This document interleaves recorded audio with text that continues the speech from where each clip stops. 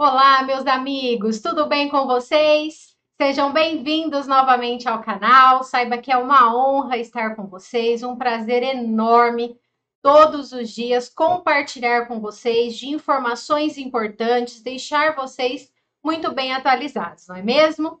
Hoje, neste vídeo, eu quero compartilhar informações importantes sobre o seu benefício, tá? São coisas muito boas. Vou falar de aumento no seu pagamento. Exatamente, você pode ter aumento no seu pagamento e isso é em curto prazo, tá? Não é a longo prazo, não. Em breve você poderá ter aumento no seu salário. É bom demais, não é mesmo?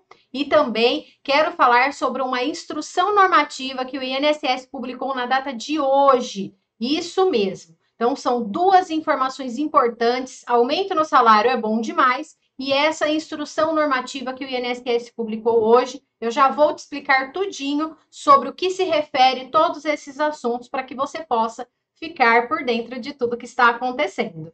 Quem ainda não me conhece, o meu nome é Aniele, eu sou especialista em crédito consignado. Se você é novo aqui pelo canal, eu tenho que te pedir, né, para que você se inscreva aqui no canal, para que você não perca nenhum conteúdo. Ativa o sininho para que você receba as notificações. E pessoal, por favor, deixe o joinha, tá? Ele não paga nada, é um segundo para você clicar aí no joinha. Isso você colabora com o crescimento do canal para que nós possamos ter maior visibilidade perante os parlamentares, tá? É isso que nós precisamos, porque aqui este canal é canal de luta, nós lutamos por vocês, aposentados, pensionistas, servidores, tá? E com o crescimento do canal, nós tem, a gente tem uma maior visibilidade, né? E os parlamentares estão enxergando vocês com outros olhos. Olha que maravilha, não é verdade? Hoje a tecnologia nos favorece, ela nos ajuda nesse sentido. Então, vamos utilizar a nosso favor, não é mesmo? Então, tá bom, eu vou contar com a sua ajuda, hein? Quem ainda não clicou então no joinha, clica agora mesmo, tá certo? Sem mais delongas, vamos para o nosso assunto de hoje. Como eu disse, pessoal, hoje teve uma publicado no Diário Oficial da União uma instrução normativa, tá? Eu já vou explicar para vocês sobre o que é. Prestem atenção, fica comigo até o final do vídeo. Como eu também disse, pode ter aumento aí no seu salário em breve, hein? Não é demorado isso não, é em breve. Então, fica aí comigo que você já vai entender tudo o que está acontecendo tá bom? Não esqueça do meu joinha. Eu vou compartilhar uma matéria aqui com vocês para que vocês possam entender melhor o que é essa instrução normativa, ok? Vamos lá, deixa eu me ajeitar aqui. Bom, prova de vida do INSS voltou, pessoal. É isso mesmo, voltou. Veja regras e o novo calendário. Então prestem atenção, porque tem gente que não está levando a sério e agora é para valer, tá bom? A prova de vida do INSS, que está suspensa desde março de 2020, finalmente voltará a ser obrigatória. A decisão veio através de instrução normativa de 12 de maio, publicada no Diário Oficial da União desta quinta-feira, dia 13. Então, como eu disse, foi publicado hoje, tá bom? A suspensão da prova de vida será cessada no dia 31 de maio sendo obrigatória novamente a partir de 1 de junho. Logo, os segurados precisam se atentar às novas datas para não ter o benefício bloqueado. Então, lembra que eu falei para vocês, cuidado, porque senão vocês vão ter dor de cabeça, tá? O novo calendário diz respeito ainda aos casos em que não houve realização de comprovação de vida por nenhum canal disponibilizado para tal procedimento, sendo estes selecionados para integrar o primeiro lote do processo de comprovação por biometria facial, ok? Vale lembrar que caso o segurado possua biometria facial pelo TSE, que é o Tribunal Superior Eleitoral, será possível realizar a prova de vida por biometria facial por meio do aplicativo Meu INSS Caso o segurado não possua biometria facial cadastrada, será necessário comparecer à agência bancária, ao qual recebe o benefício portando documento de identidade com foto para a realização da prova de vida. A comprovação de vida dos beneficiários selecionados poderá ser realizada por biometria facial nos aplicativos Meu INSS e meugov.br, sem prejuízo da possibilidade de ser realizado às instituições financeiras pagadoras dos benefícios. Pois bem, pessoal, vocês viram aqui que é possível, tá? Fazer através do aplicativo, né? Então, se você teve cadastrado no Tribunal Superior Eleitoral, lembra quando teve os recadastramentos, né, do título de eleitor?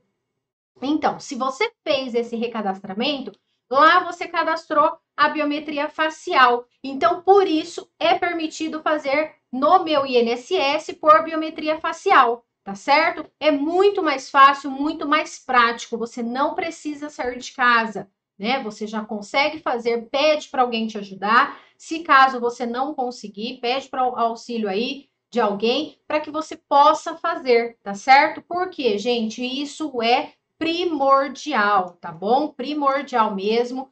E te o tempo está passando, tá? O tempo está passando e vocês precisam fazer, tá?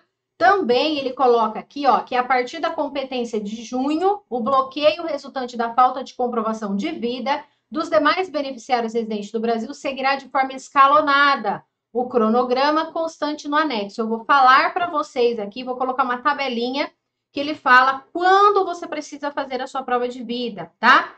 Quem tem dificuldade de locomoção não pode sair de casa, tá? Pode cadastrar uma pessoa como procuradora para fazer a prova de vida, sendo necessário enviar o requerimento no app do meu INSS e acessar a opção Agendamentos Requerimentos, ok? Ao abrir a opção, deve-se clicar em Novo Requerimento, digitar no campo de pesquisa a palavra Procuração e depois enviar os documentos solicitados. Então, deixa eu colocar aqui para vocês agora a, o calendário. Então, ó, prestem atenção aqui no calendário. A competência de vencimento da comprovação de vida. Se você tinha que ter feito no ano passado, em março e abril, você obrigatoriamente tem que fazer agora em junho, tá? Mas não vai fazer lá no final de junho, porque corre o risco da competência de junho você ter o pagamento bloqueado, tá? Então já corre e vai fazer a sua prova de vida, tá certo? Não vai deixar para a última hora para que você tenha dor de cabeça depois. Depois vai seguindo. Maio e junho do ano passado, tem que fazer em julho deste ano. Julho e agosto do ano passado, agosto desse ano. Setembro e outubro do ano passado, setembro deste ano. Novembro e dezembro do ano passado, outubro deste ano. Janeiro e fevereiro já de 2021 deste ano, tem que fazer em novembro deste ano. Março e abril deste ano, dezembro de 2021 certo? Então, o mais preocupante é esse aqui, ó, março e abril de 2020, que já tem que fazer, tá bom? Precisa estar, porque a partir da competência de junho, vai começar a ter os benefícios suspensos, ok, pessoal? Vocês entenderam sobre a prova de vida?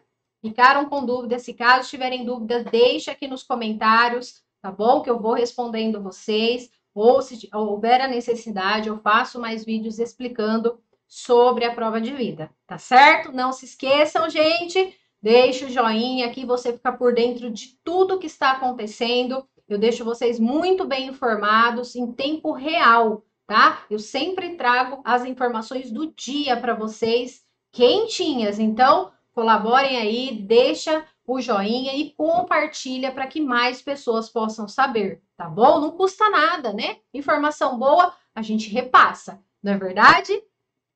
Pois bem, gente. E agora vamos falar sobre o aumento no seu salário. É isso mesmo, gente. Aumento no salário é bom demais, né?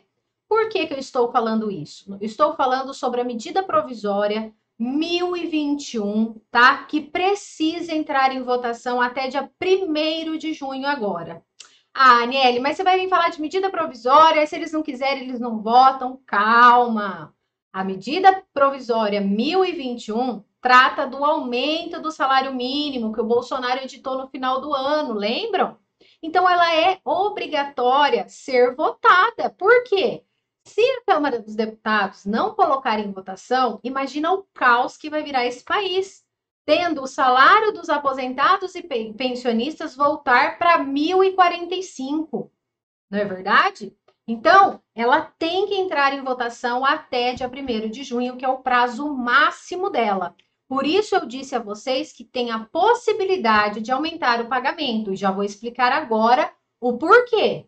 Pessoal, se vocês estão gostando das informações, por favor, hein? Não economize no meu joinha, tá bom? Não economiza. Coloca aí para mim, por favor, e também deixa seu comentário aqui, tá?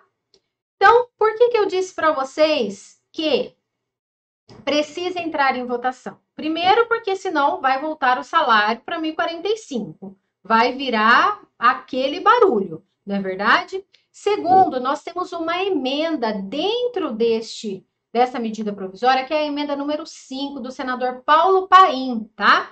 Que é uma emenda que está sendo muito comentada, muito falada, onde ele pede que o salário mínimo vá para R$ 1.141. Isso mesmo, gente. Então, por isso que eu disse que é a curto período, tá? A curto prazo, não é algo a longo prazo. Então, em breve, tá? Nós temos a possibilidade de ter a, a medida provisória votada, aprovada e com aumento ainda do salário mínimo. Basta que nós façamos o nosso trabalho. O que, que é o nosso trabalho? Cobrar, exatamente, gente, cobrar o deputado, no caso, o presidente da Câmara dos Deputados, que é quem? Arthur Lira, tá? Para que ele possa pautar para que entre em votação, então, memorizem esse número, tá, gente? Medida provisória 1021. E pressionar, pressionar para que realmente a medida provisória seja votada, seja aprovada e, juntamente dela, a emenda do senador Paulo Paim, onde ele pede que o salário mínimo passe para R$ 1.141.